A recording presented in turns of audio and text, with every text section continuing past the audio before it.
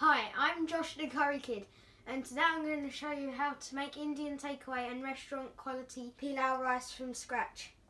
To make pilau rice, you need one and a half cups of basmati rice, quarter cup of oil, half a teaspoon of salt, quarter teaspoon of cumin seeds, one and a half cups of water, two cardamom pods, and one bay leaf. Put the rice in a bowl and rinse with cold water until the water runs clear. Once you have done that, keep the rice soaking in clean water for 15 minutes, then strain the rice.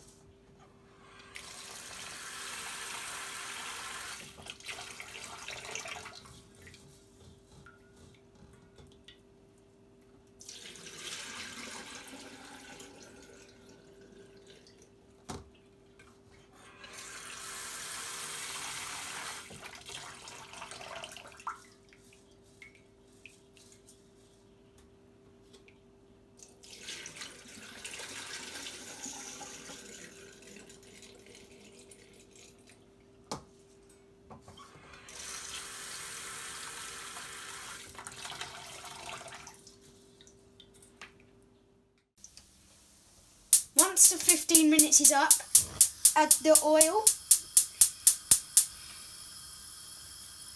the cumin seeds, cardamom and bay leaves to a pot and cook over medium heat for about one minute.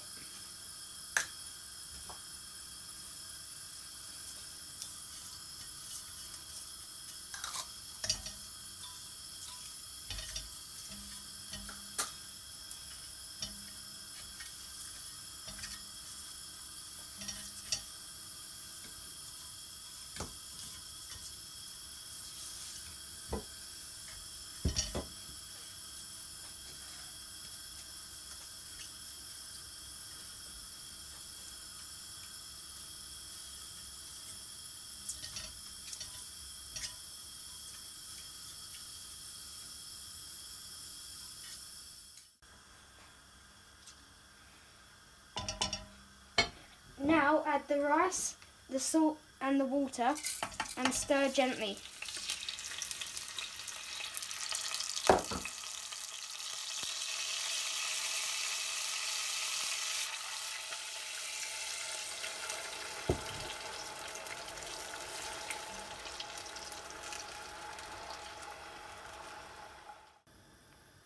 Bring to a boil, stir once, then reduce the heat to its lowest setting. Cover the pot and cook for 15 minutes. Do not lift the lid as it's the steam that cooks the rice.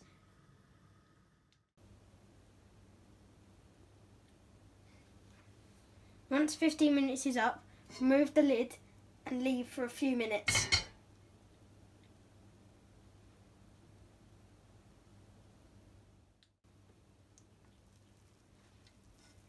Gently fold the rice with a spatula and serve.